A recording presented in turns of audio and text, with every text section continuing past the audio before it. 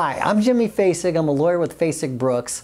I some, sometimes get asked by potential clients or, or clients, can I sue somebody if I'm injured in a car accident and I'm the passenger in the vehicle? The answer to that question is more often than not, if you are injured in an accident and you're the passenger in a vehicle, more often than not, you do have a cause of action against somebody. You either have a cause of action against the driver of the vehicle you were riding in or against the person that caused the accident if it was the driver driver whose vehicle you were riding in. If it was not that person's fault it must have been somebody else's fault. So the answer to the question is yes.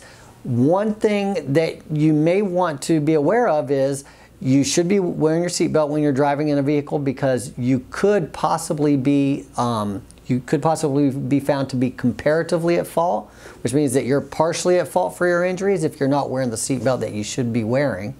Uh, but there's no chance, since you are the passenger in the vehicle, there's no chance you'll be charged with comparative fault for causing the accident itself.